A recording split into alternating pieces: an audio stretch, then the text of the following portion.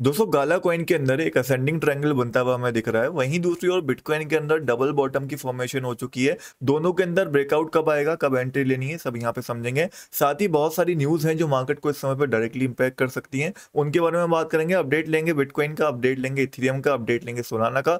And उन सारे all coins के बारे में बात करेंगे, जो आप सवाल लगातार पूछ रहे हो कमेंट्स के अंदर। बाकी कोई सवाल रह जाता है आपका तो इस वीडियो के कमेंट के अंदर पूछ सकते हो। आने वाली अगली वीडियोज़ के अंदर मैं आपका सवाल वो भी कवर कर लूँगा। ना वीडियो को स्टार्ट करें गाला कॉइन के अपडेट के साथ। तो यहाँ पे आप देख सकते हो एक असेंडिंग ट्रायंगल की फॉर्मेशन हो रही है, क्योंकि बिटकॉइन के अंदर भी अच्छी रिकवरी आई है एंड बाकी ऑल्ट कॉइन्स भी अच्छा रिकवर यहाँ पे करें।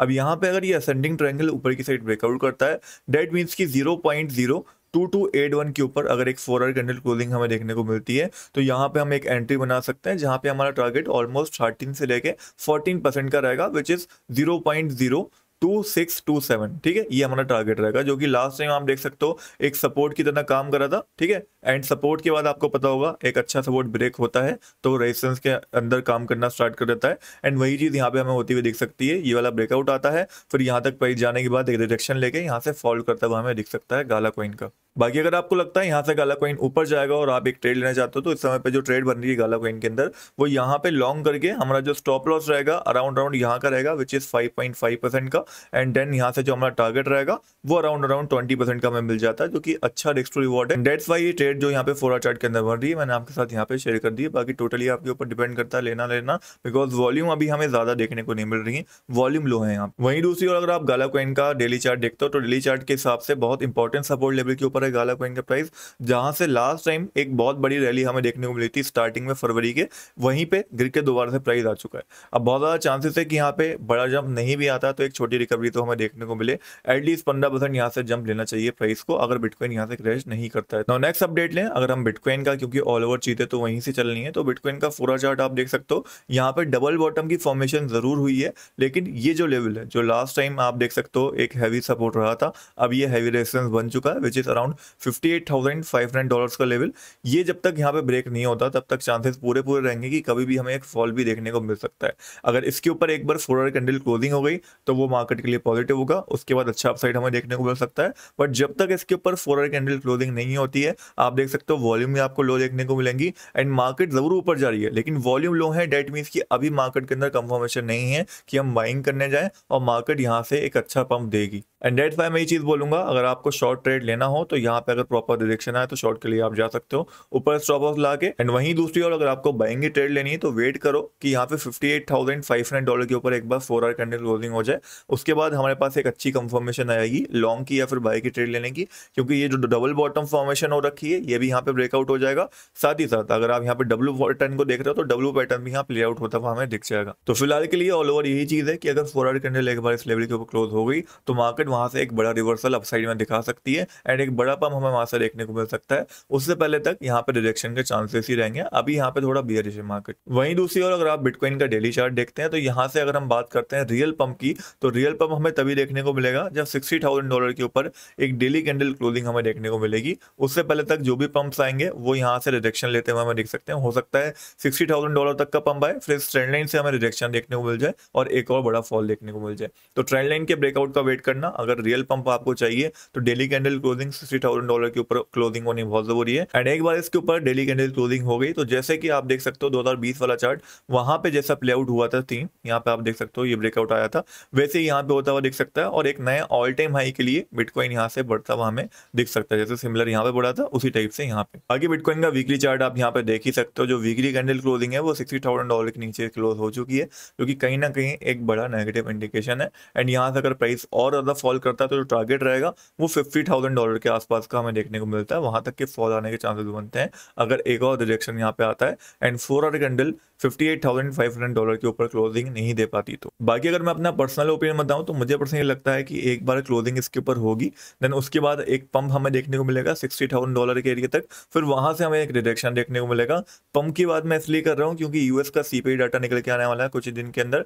एंड अगर आप डाटा उठा के समय पर देखते हो तो आपको पता चलेगा जो फॉरकास्ट करा गया है वो प्रीवियस से बहुत ज़्यादा कम है थ्री पॉइंट वन है। एंड अगर फॉरकास्ट से कम आ गया थ्री पॉइंट ज़ीरो आ गया या थ्री पॉइंट वन भी आ गया तो मार्केट वहाँ पे पॉजिटिवली रिएक्ट करते हुए हमें देख सकती है। बाकी समय पर मार्केट के अंदर जो डर है, वो बस यही है कि जर्मन गवर्नमेंट के पास अभी टू बिलियन वॉट्स ऑफ़ बिटकॉइन ऑलरेडी हैं। अगर वो ये भी सेल ऑफ़ करते हैं तो यहाँ पे और बड़ा फॉल हमें देखने को नहीं मिल जाए। नाउ नेक्स्ट बात करें आप लोगों के क्वेश्चन के बारे में, जो आपने कमेंट्स के अंदर पूछे तो पहला क्वेश्चन था यहाँ पे पोर्टल कॉइन को लेकर पोर्टल कॉइन को लेकर ये क्वेश्चन था कि बहुत ज़्यादा मैं लॉस में हूँ, क्या करूँ? तो देखो यार, ये लगातार फॉल करता हुआ हमें दिख रहा है। एंड मैंने आपको लास्ट टाइम ये चीज़ बहुत अच्छे समझाई है, बहुत बार समझाई है कि जिस कॉइन की सप्लाई जो होती है, वो फिफ्टी से ज़्यादा नहीं आई होती है सर्कुलेशन के अंदर, वो डंप मार्केट के अंदर या बियर मार्केट के अंदर बहुत ज़्यादा फॉल करते हैं। जैसे कि एग्ज़ाम्पल के तौर पर आप पोर्टल कॉइन को देख सकते हो उस समय पे। ट्वेंटी टू परसेंट ही सप्लाई यहाँ पे आई है सर्कुलेशन के अंदर एंड डेट्स वाई ज़्यादा बड़ा फॉल हमें इस कॉइन के अंदर देखने को मिला है। जब जब इसकी सप्लाई आएगी सर्कुलेशन के अंदर मार्केट अच्छी नहीं होगी तो ये नॉर्मल मार्केट से ज़्यादा फॉल करता हुआ हमें देखेगा। एंड डेट्स वाई मुझे लगता है अभी आप अगर होल्ड करे हो तो होल्ड कर सकते हो बिकॉज़ ऑलरेडी बहुत ज़्यादा लॉस में हो, यहाँ पे सेल करके भी कोई फ़ायदा नहीं है। बट अगर आप दस बीस परसेंट चालीस परसेंट लॉस में हो तो मैं कहूँगा अपने जो पोर्टल कॉइन है, उनको आप इथीरियम में या किसी और अच्छे प्रोडक्ट में कन्वर्ट कर सकते हो। ताकि वहाँ पे आपको फास्ट रिकवरी देखने को मिल जाए। बाकी पोर्टल भी बुरा प्रोडक्ट नहीं है फंडामेंटली स्ट्रॉन्ग है बट प्रॉब्लम जो है इसकी वो टोकनॉमिक्स के अंदर है। अगर ये ज़्यादा फॉल करा है तो जब मार्केट रिकवरी करेगी तो तेज़ी के साथ रिकवर भी आपको होता हुआ दिख जाएगा। नेक्स्ट क्वेश्चन था बी एन को, जो कि यहाँ पे ब्रेकआउट करा हुआ है। बी एन के अंदर यहाँ से हमें एक रैली देखने को मिल सकती है। अच्छा ब्रेकआउट आया था प्रीवियस हाई भी ब्रेक कर दिया है तो यहाँ पे जाओ तो एक स्पॉट बाय बना सकते हो। टारगेट आपका यहाँ पे 1.4 डॉलर का रह सकता है, ठीक है? उसके बाद नेक्स्ट क्वेश्चन था मारिया कॉइन को लेके, जो अपने बॉटम लेवल के ऊपर ट्रेड कर रहा है। अगर आप लॉन्ग टर्म होल्डर हो मारिया कॉइन के तो यहाँ पे बाइंग बनाई जा सकती है बिकॉज़ बॉटम लेवल के ऊपर ट्रेड कर रहा है। बाकी फ़िलहाल जब तक ये ट्रेंड लाइन को ब्रेकआउट नहीं करता, एक डाउन ट्रेंड फॉर्मेशन हो रखा है। जब तक ये डाउन ट्रेंड यहाँ पे ब्रेक नहीं होता, उससे पहले बाइंग करना मारिया कॉइन कितना रिस्की रहेगा। और भी ज़्यादा फॉल इसके अंदर हमें देखने को मिल सकता है, अगर बिटकॉइन स्टेबिलाईज नहीं होता या बिटकॉइन ऊपर की साइड ब्रेकआउट नहीं करता। नाउ नेक्स्ट क्वेश्चन था लीवर कॉइन को लेके, जो कि बाकी ओल्ड कॉइन्स के मुकाबले हमें ज़्यादा बुलिश देखने को मिल रहा है। लीवर कॉइन के अंदर एक बाइंग यहाँ पे बनाई जा सकती है, जो टारगेट आप लेके चलोगे, वो zero point zero zero four one six का हमें देखने को मिल जाएगा पहला टारगेट उसके बाद नेक्स्ट क्वेश्चन था वेनरी कॉइन को लेके, जिसका एक्चुअल जो यहाँ पे लिमिट बायोटर जो मैंने पर्सनली लगा रखा है, वो zero point zero eight one four ये लेवल पे लगा रखा है। इसके जस्ट ऊपर थोड़ा सा यहाँ पे लिमिट बायोटर लगा के छोड़ सकते हो। यहाँ तक प्राइस आया तो एक अच्छा बाय आपको मिल जाएगा, आप देख सकते हो। प्रीवियस टाइम में ये बहुत अच्छा सपोर्ट रहा है, यहाँ से बहुत अच्छी रैली हमें देखने को मिली है। अदरवाइज़ अगर आपको फ्री भी एंट्री लेनी है वेनरी कॉइन के अंदर तो zero point one two one zero इसके ऊपर अगर एक बार कैंडल क्लोजिंग हो जाती है और डाउन ट्रेन ये ब्रेक हो जाता है तो एंट्री का मौका बन जाएगा। उसके बाद नेक्स्ट क्वेश्चन था फेड कॉइन को लेके, जो कि बाकी कॉइन्स की तरह एक डाउन ट्रेंड के अंदर यहाँ पे चल रहा है एंड एक अच्छे सपोर्ट के ऊपर आ चुका है। यहाँ से जम के काफ़ी हाई चांसेस रहेंगे बिकॉज़ लास्ट टाइम यहीं से एक बहुत बड़ी रैली हमें देखने को मिली थी। तो चाहो तो आप एक स्पॉट बाय अपना बना सकते हो यहाँ पे।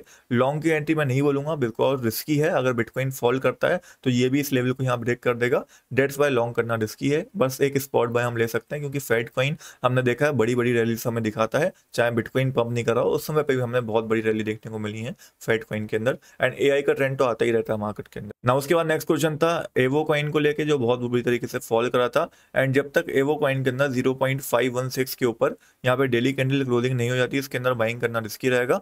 कभी भी डिटेक्शन लेके फॉल करता हुआ हमें दिख सकता है, अगर बिटकॉइन के अंदर हल्का सा भी फॉल आ गया तो। उसके बाद एफ़ कॉइन को लेकर क्वेश्चन था, अभी करंटली एक रेंज मूवमेंट ये कर रहा है टू के ऊपर जब कैंडल क्लोजिंग होगी तो ही इसके अंदर एक्चुअल एंट्री बनेगी, या फिर 1.20 के ऊपर अगर गिर आता है तो यहाँ पे भी एंट्री बनाई जा सकती है। लिमिट बाय ऑर्डर ला के हम छोड़ सकते बाद नेक्स्ट क्वेश्चन था सागा कॉइन को लेके, जो कि करंटली एक रेजिस्टेंस के ऊपर है 1.5360 अगर इसके ऊपर एक डेली कैंडल क्लोजिंग होती है तो यहाँ से एक रियल रिकवरी हमें देखने को मिल सकती है सागा के अंदर। उससे पहले तक तो फ़िलहाल तो एक प्रॉपर रिजेक्शन ही हमें यहाँ से देखने को मिल रहा है। इन द लास्ट बात करें, अगर हम इथ्रियम के बारे में तो एक अच्छी रिकवरी हमें इथ्रियम से देखने को मिली है। ऑलमोस्ट एक डबल बॉटम फॉर्मेशन यहाँ पे हो रही है। इथ्रियम का ईटीएफ भी जल्दी हमें ट्रेड होता हुआ दिखने वाला है, नया ईटीएफ तो मैं बोलूँगा, अगर इथ्रियम के अंदर इन्वेस्ट करना है तो एक बेटर ऑप्शन है। बाकी ओल्ड कॉइन्स के मुकाबले इथीरियम आपको तेज रिकवरी दे सकता है एंड ज़्यादा सेफ़ भी रहता है अगर हम बाकी ओल्ड कॉइन से कंपेयर करते हैं तो। नेक्स्ट बात करें सोलाना के बारे में तो यहाँ पे भी एक डबल बॉटम की फॉर्मेशन रखी है क्योंकि सोलाना के ईटीएफ को लेकर भी तैयारी चल रही है। हमने यहाँ पे लिमिट बाउडर अपना फिल करवाया था वन डॉलर के आसपास। होपफुली आप अच्छे प्रॉफिट में होंगे। अभी बाइंग करना रिस्की है ऑलरेडी ऊपर आ चुका है। चाहो तो प्रॉफिट बुक कर सकते हो अगर आप शॉर्ट टर्म होल्डर हो। बाकी मैं पर्सनली सोलाना को होल्ड करूँगा बिकॉज़ मुझे लगता है अगर ये ट्रेंड लाइन का ब्रेकआउट आया तो सोलाना एक काफ़ी अच्छी रैली यहाँ से दे सकता है।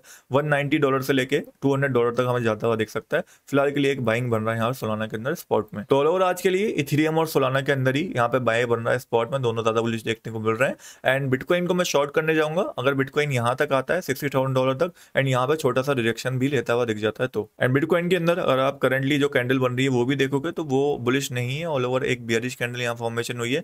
बाकी देखते हैं फिफ्टी डॉलर को ऊपर की साइड ब्रेकआउट करेगा तो ही ये बुलिश माना जाएगा। एंड तभी बाकी ऑल्ट के अंदर एंट्री लेना सेफ़ रहेगा।